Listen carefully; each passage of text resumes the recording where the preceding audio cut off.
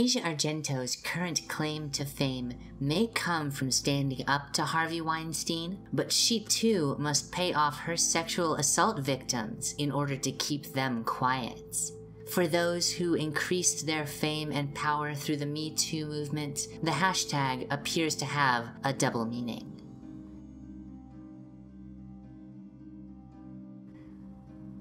Agence France Presse reports that Miss Argento has paid $380,000 in hush money to an actor and rock musician named Jimmy Bennett, who accused the Italian actress of sexually assaulting him in a California hotel room in 2013 when he was only 17 years old.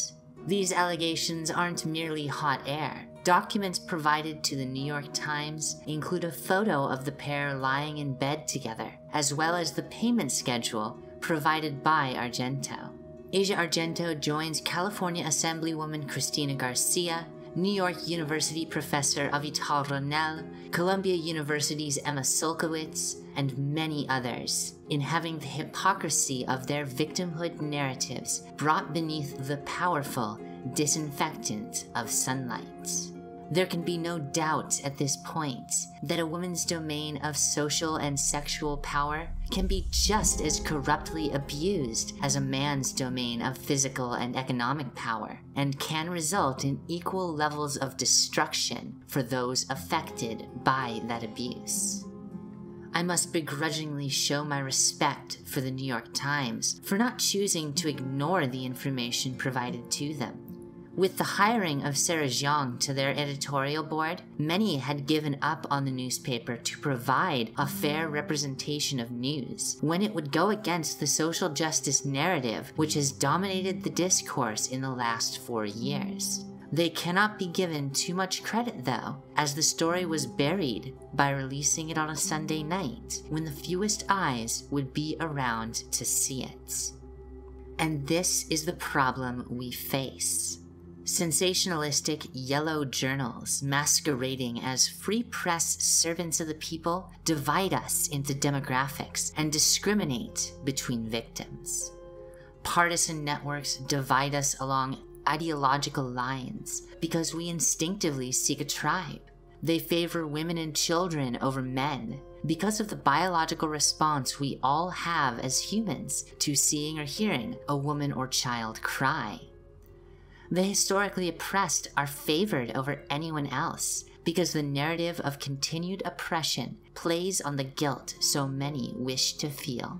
And this leads to victimhood itself being abused by those just as guilty as those they accuse, if not more so, because these self reported victims know the media of their ideological tribe will always take their side. When it is reported that a Mexican man is assaulted on the streets, scarcely a media outlet can be found that will wait for all the facts to be reported before announcing this is the result of some fictional racism empowered by the president. But when they discover the fact that the attacker was a black woman, they do not have the column inches or YouTube minutes to spare to make apology when they correct the report. Yesterday, we spoke about a story regarding a 91-year-old Mexican man who was in Los Angeles to visit his family. Uh, he was unfortunately violently attacked by a woman uh, who had a concrete brick. We didn't know why she attacked. There was one witness there who said that the woman uh, kept telling this man, go back to your country, you don't belong here.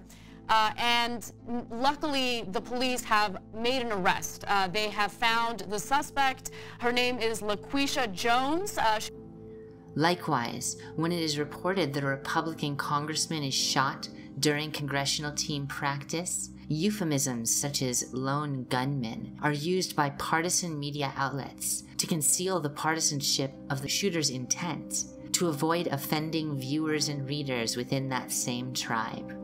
But if an attacker's politics do not align with the partisanship of that media outlet, they have no qualms about ascribing ideology. In fact, they will be proud to blame half the country for the actions of one extremist. And when a woman asserts that Harvey Weinstein's sexual misconduct and abuse of wealth constitutes abuse, Six months will be dedicated to daily partisan condemnation and the hunt for other victims. But when it is reported that that same woman not only engaged in precisely the same financial and sexual abuses, it will be lucky to last a day in the news cycle, if that.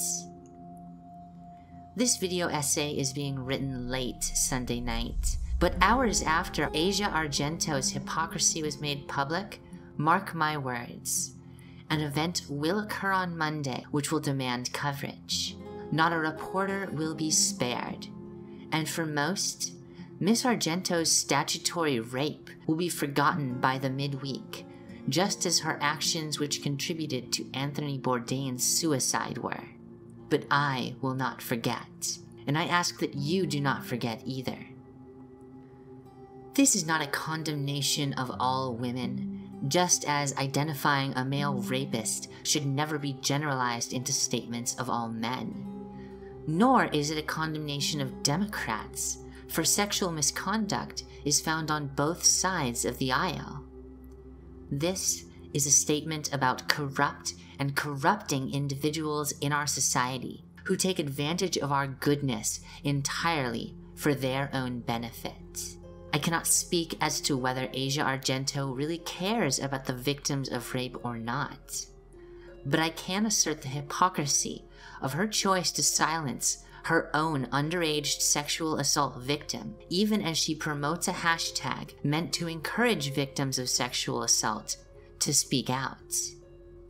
Such hypocrisy, such falsely virtuous grandstanding, we allow it to manipulate us. We sacrifice our individuality to the group identities, the demographics these individuals pretend to represent. 20 years ago, it was said that you could easily guess which Republicans were gay based on how loudly they opposed gay marriage. And likewise, today, it would be painless to assert that one can easily guess which Democrats have committed sexual assault by how loudly they support Me Too. But if you give in to this desire, you have missed the point of my message. These so called leaders do not represent you.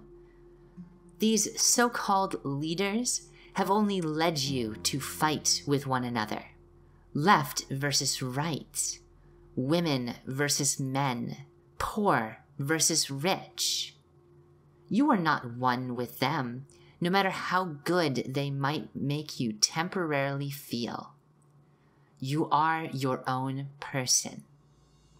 If you have been victimized, you must not let anyone trap you in that victimhood only to relive it for the sake of promoting someone else's message. If you have committed a crime, you must endure your punishment and put the selfishness of your past behind you. But if you have no victimhood for which to feel ashamed, nor crime for which to feel guilty, then be free. Be independent. Be defined by your actions rather than someone else's words. Be your own representative and cease to let the political parties, celebrities, newspapers, and governments presume that they can speak for you.